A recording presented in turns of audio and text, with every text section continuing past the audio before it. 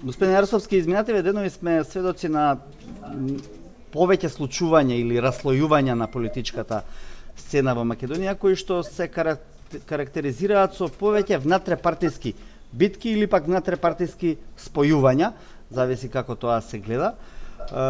Едното во ВМРО ДПМН, другото го гледавме, го гледаме и во СДСМ преку онаа средба што вчера беше остварена помеѓу поранешниот председател и актуелниот председател на СДСМ, се разбира и во други случувањата кои што се еден постојан во постојана латентна фаза која што нешто може да донесе или да не донесе, зависно од тоа како ќе се одвиваат работите во наредниот период.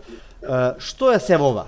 Прегруп, предизборно прегрупирање би можело да се нарече или пак во пресрет на она што се вели финале на уставните измени, партиите создаваат амбиент за нивно донесување, односно недонесување.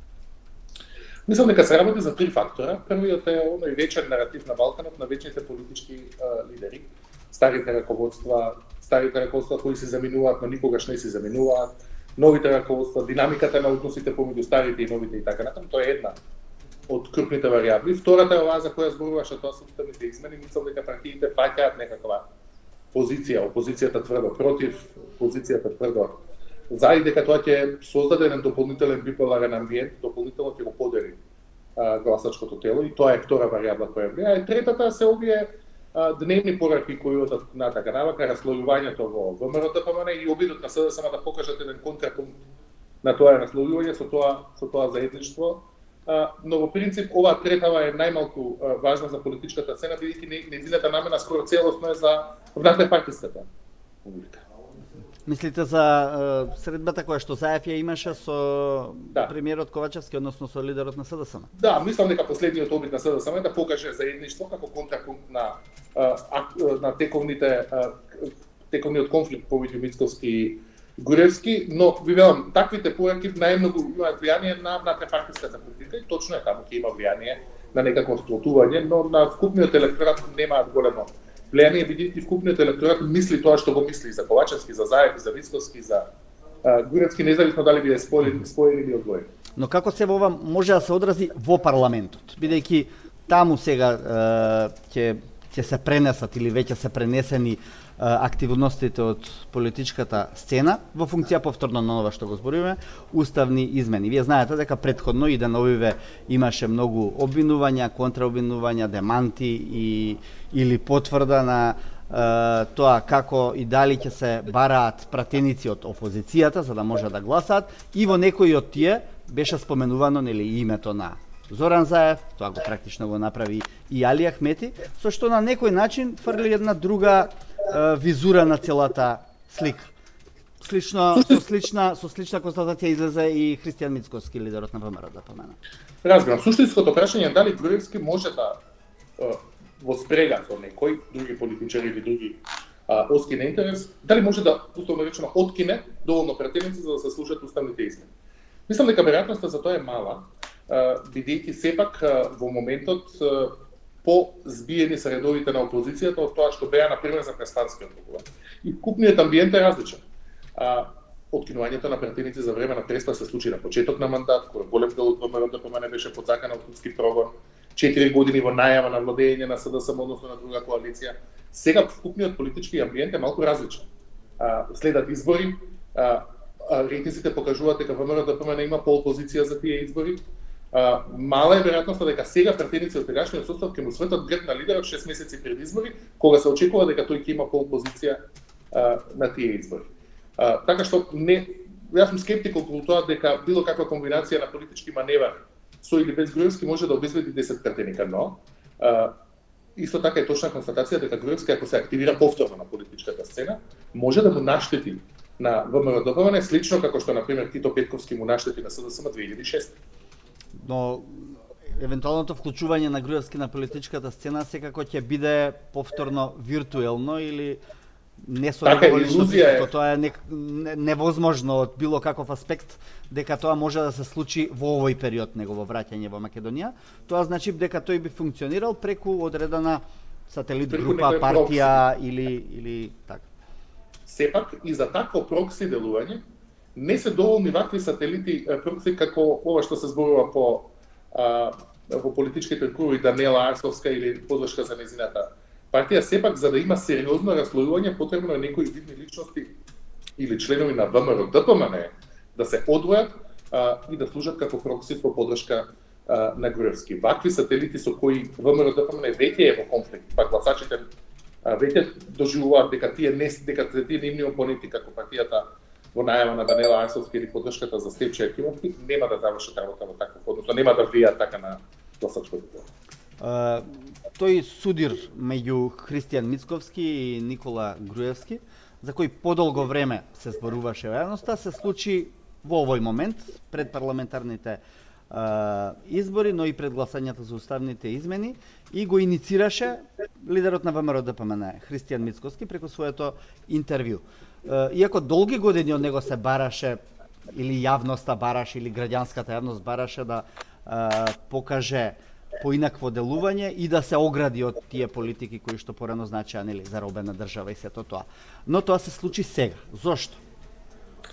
А, наједноставното објаснување за мене, кое можам да го а, да го понудам овде е дека а, тоа се случува затоа што а, во ВМРО ДПМН се имаат откажано од концептот на предвремени избори брзи.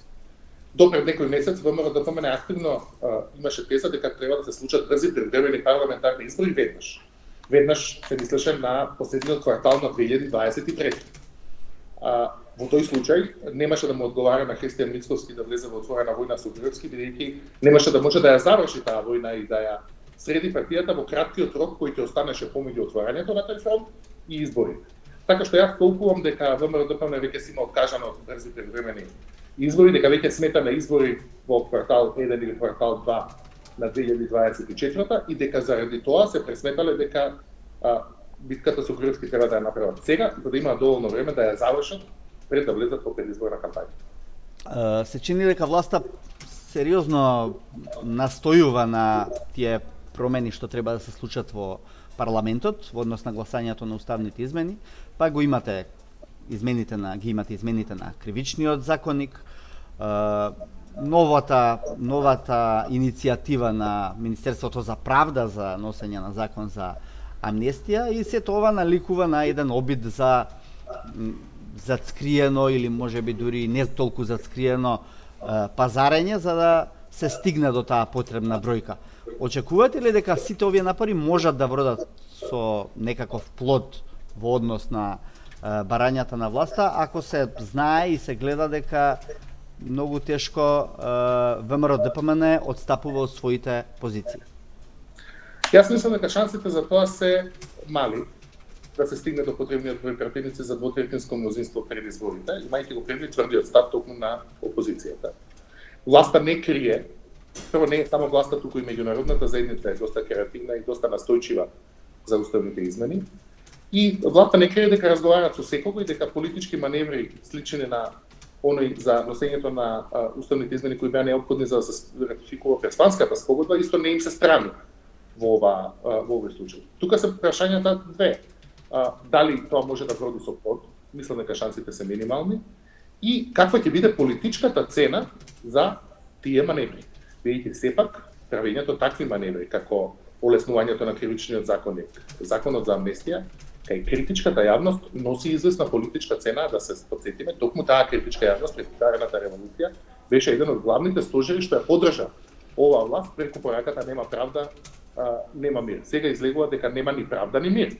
И мислам дека а, второто прашање кое е посериозно уште, особено за либералниот дел на електоратот, е какви ќе каква ќе биде политичката цена воопшто по таа критичка јавност долгорочно. Ние веќе се соочуваме со еден сериозен замор на материјалот кај гласачите, еден цинизам, еден дефетизам, а, една едно дегутантно чувство кон политиката воопшто.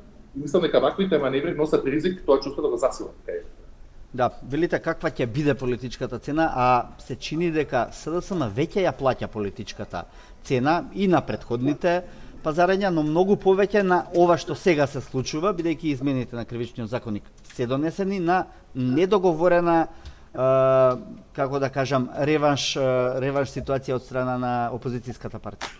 Па Знаете зашто велам каква ќе биде политичката цена? Бидејќи не треба во целиот овој, во целата оваа ситуација да запоставиме авторитарниот карактер на електоратот.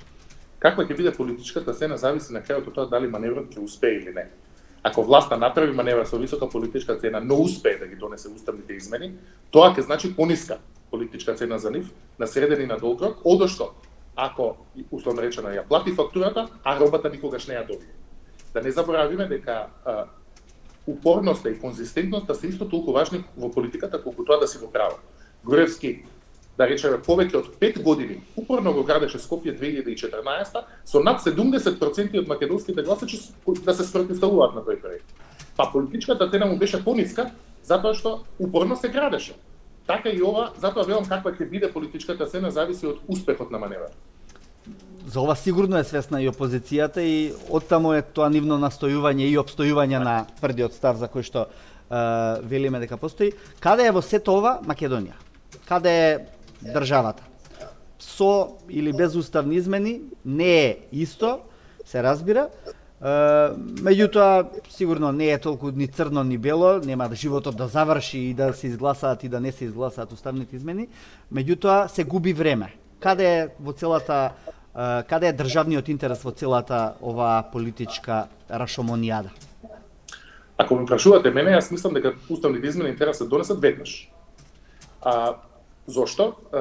Традиционално, историски, најголемите напредоци, квантните скокови на структурните реформи и на подобрувањето на и на па ако сакате и на стандардот на граѓаните, во Македонија секогаш биле поврзани со крупните чекори кон евроатланските интеграции. Страф ми е дека ние како политички елити дома немаме доволно капацитет да ги направиме необходните структурни реформи, а като тие не се поврзани со некој надворешен фактор, напредок или некакво надворешно придвижување.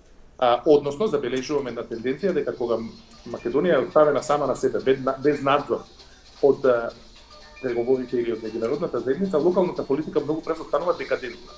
Односно, престанува да се грижи за некои стандарди, запаѓа во проблематични текови и така натаму и така натаму. Затоа мислам дека е притисокот за уставните измени, а времето е врзано со најавата на меѓународната заедница за отварање преговори со Украина во декември и обид да дадат некаков сигнал за Западен Балкан тогаш, и со предстојните ЕУ парламентарни избори во, во јуни 2024 каде наредниот Европски парламент процентите се дека има далеку помал апетит за проширување од овој сектор.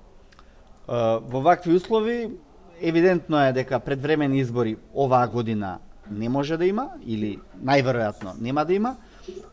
Останува во тие услови дилемата и прашањето дали ќе се спојат председателските со парламентарните избори или пак власта ќе обстои на ова што сега го зборува дека тоа ќе бидат два одвоени изборни циклуси. Да, знаете како тука има еден правен аспект. За изборите да се случат било кој термин пред јуни 2024 тие мора да бидат предвремени. Што значи не може државната изборна комисија или председателот на собрание да ги распишат автономно, туку мора собранието да изгласа само распуштање.